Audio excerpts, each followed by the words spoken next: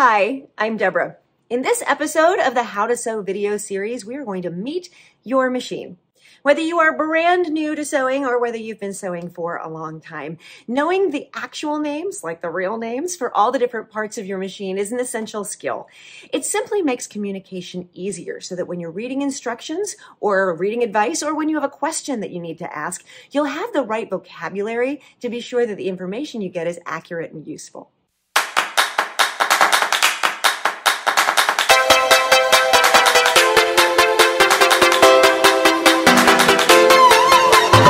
Your sewing machine is probably the biggest tool that you will need for sewing. All sewing can be done by hand, using just a hand needle and thread, but a sewing machine makes it a lot faster and a lot easier, meaning that you can get experience getting great results sooner, which helps you build the confidence that you need to go out and make your next project. We're going to meet a couple different types of sewing machine because there are a lot of them out there. It isn't necessary for you to purchase a brand new machine in order to get started sewing. Lots of them are available at thrift stores and op shops near you, handed down from friends, at an estate sale around the corner, at a yard sale over the weekend you can easily find a fantastic machine for $10 or less. We're going to look at two different types of machine up close. One is a mechanical machine, a manual sewing machine that does not have a computer in it. The other is a computerized machine. This is a classic Singer sewing machine. It's not even remotely the oldest machine I have ever owned or sewed on. I actually got this from a thrift store. Um, if you are in the UK or Australia, you might call that the op shop came complete with the table that it fits into. Um, and I think it cost me around $20, $25. So a great machine is really easy to get, very affordable for almost everyone if you're willing to Scrape together a few dollars, you can get started with a machine that, quite frankly, is so well made it will last you for years and years. We're going to begin our exploration of the parts of the sewing machine using this model because it is the most accessible and probably the most familiar to most of us before we move on to computerized models, which may be less familiar and have more features.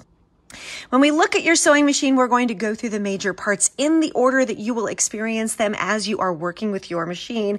And that begins with your spool holder right here. For a lot of sewing machines, the spool holder is retractable. Even some of these older, heavier models, this one is made to be built into a table, will still have a retractable spool holder for storage so that it's not in danger of being um, damaged or broken off in any way. Other machines will have a secondary spool holder that comes off the side or that lies horizontal. This particular one is designed so that your spool goes onto it vertically.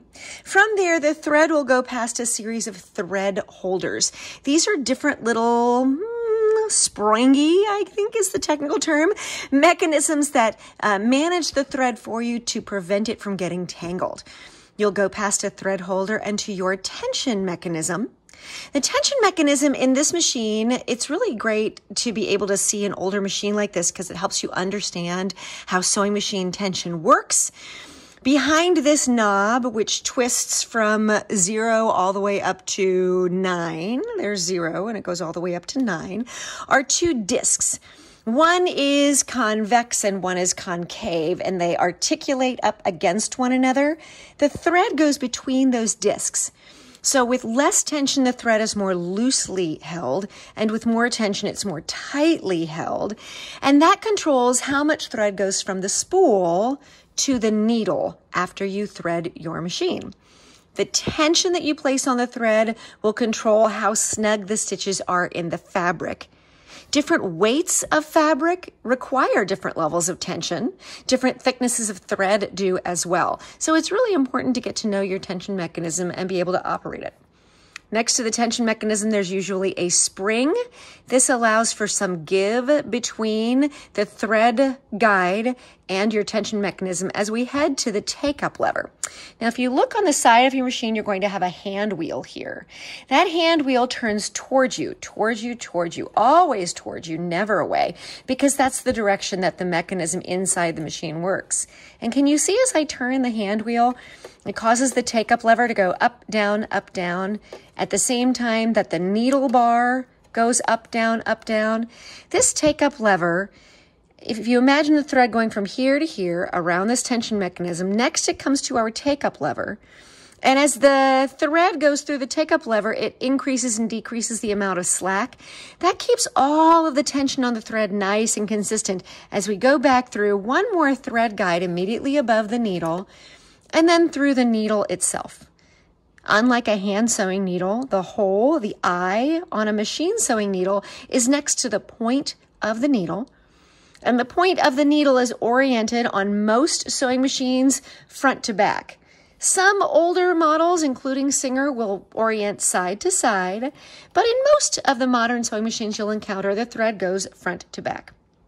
The needle is in a mechanism called the needle bar, and there's a small a small screw here that is hand operated.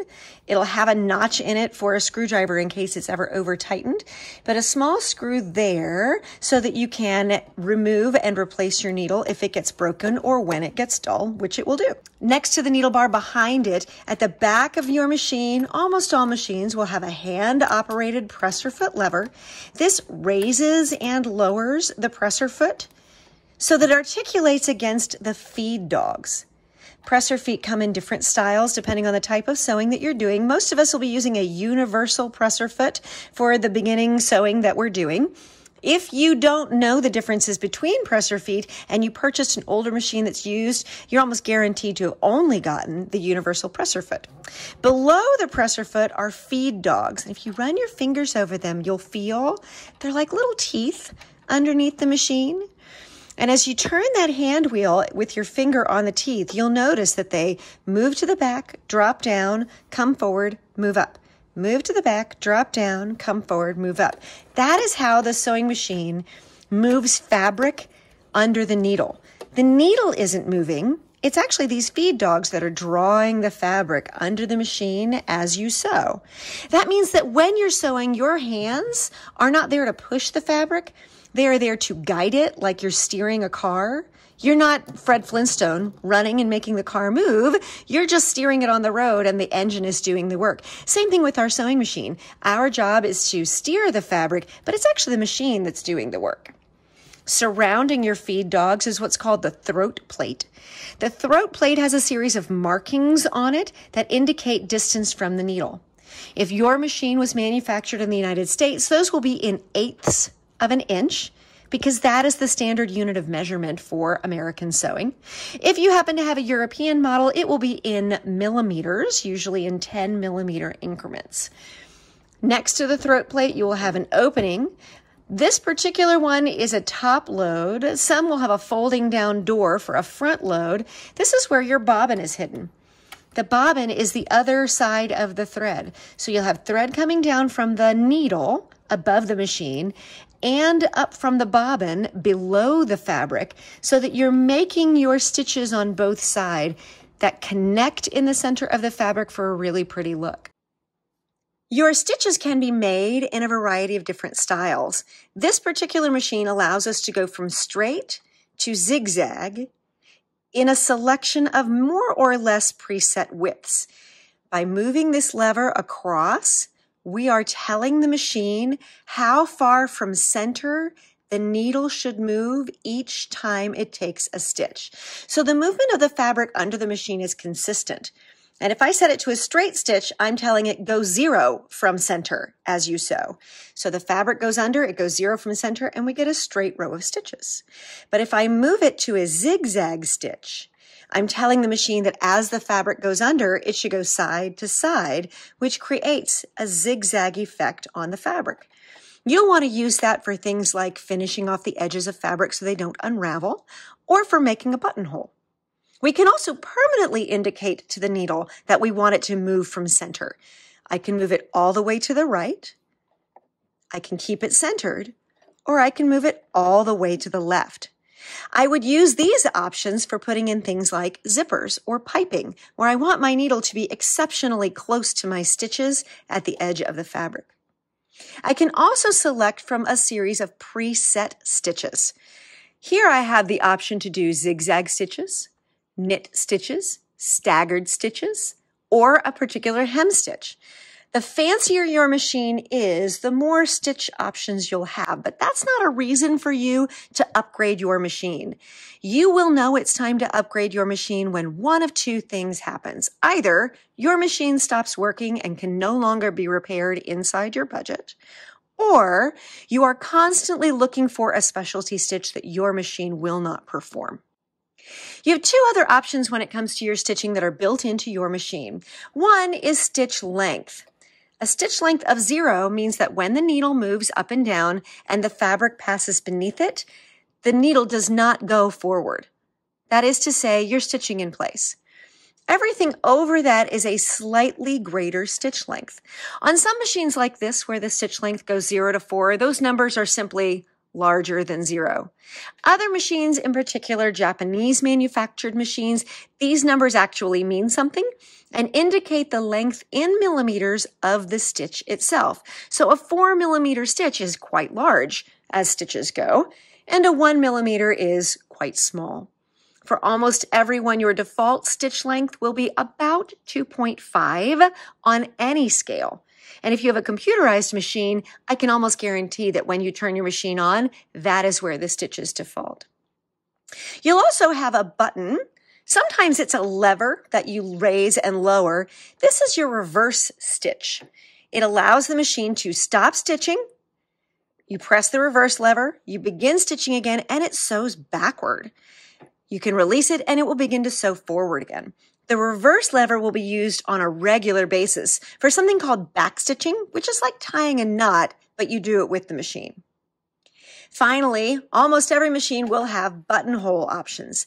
This particular one is what's called a four-step buttonholer, which means it's got preset stitch selections that create each of the portions of a buttonhole simply by turning the wheel and telling it what step of the buttonhole you're on.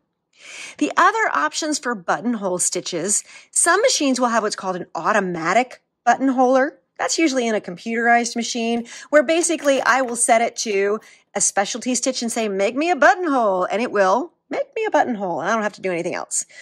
Others will have a four step buttonholer like this. Some will have what's called a one step buttonholer where I put on a specialty presser foot and I set it to this stitch selection and it does a buttonhole. And my job is simply to pay attention to things. Or you could have a really vintage machine where the buttonhole is a zigzag stitch. And it's your job to know how to utilize each of the different stitch options in order to make a beautiful buttonhole. Naturally, your sewing machine has an electric cord which plugs into the wall to give it power, but it's also going to have a second cord that leads to the foot pedal. Your foot pedal is identical to a gas pedal in a gas powered automobile in that it has a ramp for your foot and you press down, more pressure equals greater speed. I've watched a number of different new sewing students turn their presser foot around backward and try to operate it from this side. The problem with doing that isn't that it won't work, because it will. The problem with doing that is you have a lot less control. Can you see how when I put pressure here, it's a lot more difficult for me to go slowly. It's sort of kind of on off. But if I turn it around the way it was designed and I place my foot, imagine this is my foot, place my foot on it and press down, I have a lot more control over how the machine operates. The bobbin winder on this machine is just this little nubbin here that's actually operated by a completely separate motor. It pops into place with the bobbin on top, but it's important to remember that the thread for the bobbin goes through the thread guide before it gets to the bobbin winder. This has a little spring-loaded mechanism in it that causes the thread as you wind the bobbin to go up and down for even feeding on the bobbin itself. So don't skip this part. Remember as we talk about the different types of sewing machine that the full How to Sew video series on the League of Dressmakers includes a downloadable and printable PDF workbook that you can use to go along with each of these episodes for additional reference and information. We would love to have you find your team at the League and grow your sewing with us.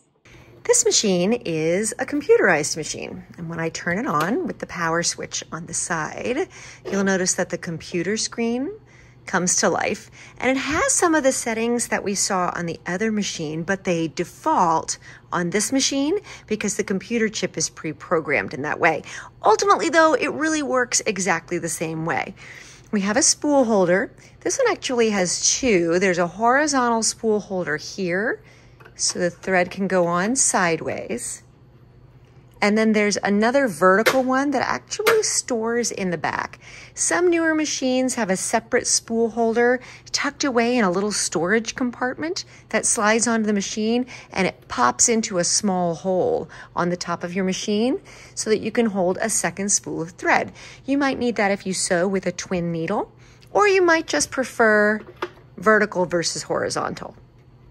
From there, you have all the same parts. You have thread guides, you have a tension mechanism.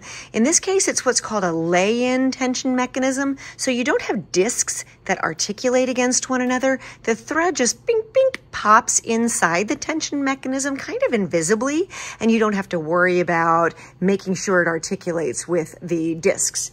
It still has a take-up lever right here that goes up and down. It's a little bit masked on this model behind this flange that protects the tension mechanism. There are thread guides on the needle bar at the bottom. It still has a presser foot. There's a throat plate with feed dogs. There's a bobbin case. In this case, it is a front load bobbin. So when you reach in to pull out the bobbin case, which looks like this, the bobbin will come apart from the bobbin case and will need to be reinserted before the bobbin case is placed inside the machine. This machine also has an extension table that is removable to make more space for sewing small things like um, pant legs or sleeves or collars and cuffs. The big difference here, of course, is this computer. When I said that turning it on causes it to default to certain settings, mostly that's about the stitch width and the stitch length. The stitch width, again, indicates how far from center the needle moves as the fabric goes under the machine. So I can increase the stitch width up to five, or I can decrease it down to zero. The stitch length indicator is how much fabric goes under the needle before the needle pierces the fabric again. So I can increase it all the way up to five, I can decrease it all the way down to zero. Because this is a computerized machine, there's a clear button that resets everything to all the default settings. You'll notice this indicator here when I do the zigzag stitch is below the width indicator. That represents the needle position. I have a few more options for needle position with this machine than I did with the other machine, where I can go further to the right or left of center. And again, when I hit the clear button, everything goes back to the machine defaults.